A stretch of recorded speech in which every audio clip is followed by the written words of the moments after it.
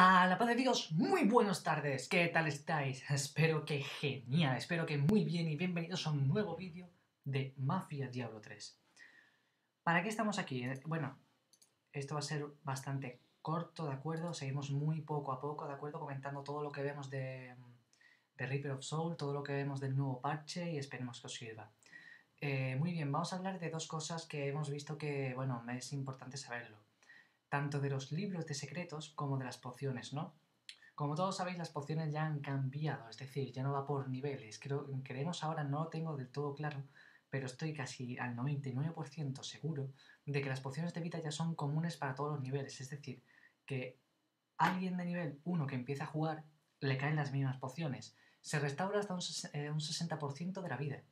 Eso la verdad creemos que es bastante útil porque, por ejemplo, antes no, tenía, no tengo yo en la cabeza ahora el número al cual se, cuánta vida te regenerabas, pero cuando tenías muchísima vida, como por ejemplo el caso de, algunos bárbaros y etcétera, pues se centraba más en el robo de vida que en, que, en tener pociones, porque, vamos, lo decimos desde la propia experiencia. Nuestro compañero Checha, por ejemplo, tiene toneladas y toneladas de pociones en su alijo, así que, vamos, que lo consideramos muy bien, la verdad. Esto de recuperar el 60% de la vida ya es muy útil. Ahora probablemente sí las usaremos.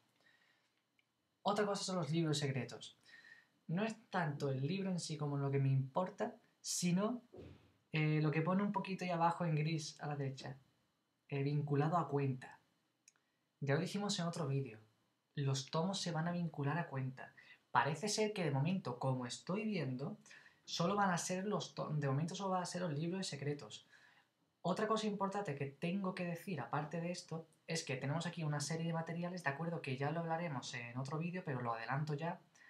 Eh, solo esta, esta esencia parece que es sangre, Sidiru, bone, bone es hueso, pero, pero vamos, la verdad es Sidiru, bueno, hueso de Sidiru, no sé cuál es la traducción exacta, pero parece ser que este, este material no lo he hecho, ya lo adelanto, no lo he hecho haciendo pedazos un, un arma ni nada, o sea, me ha caído. Es decir, y, también sorprendentemente han caído lágrimas.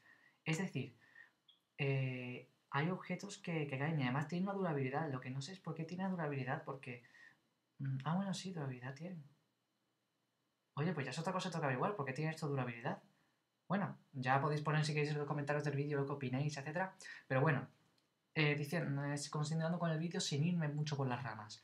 Eh, los este tipo de materiales eh, los libros se vinculan a cuenta. Los azufres parece ser que no. las lágrimas iridescentes tampoco. Y las esencias exquisitas posiblemente tampoco. Pero esto, este, este material raro que todavía no sé muy bien para lo que puede servir, ahora voy a experimentar un poco y haré un vídeo próximamente para decir para qué puede servir, pues sí se diga a cuenta, ¿de acuerdo? Seguramente será como, como la esencia esa, como la esencia no. Mm, como los bloques esos dorados que nos tiraban en... que nos siguen tirando de hecho en Diablo 3, que espero la verdad que empiece a servir para algo porque los tengo casi de adorno. Bueno chicos, pues esto es todo. Yo la verdad espero que os haya servido, que os haya gustado y nos vemos en el siguiente vídeo, ¿de acuerdo? ¡Hasta la próxima!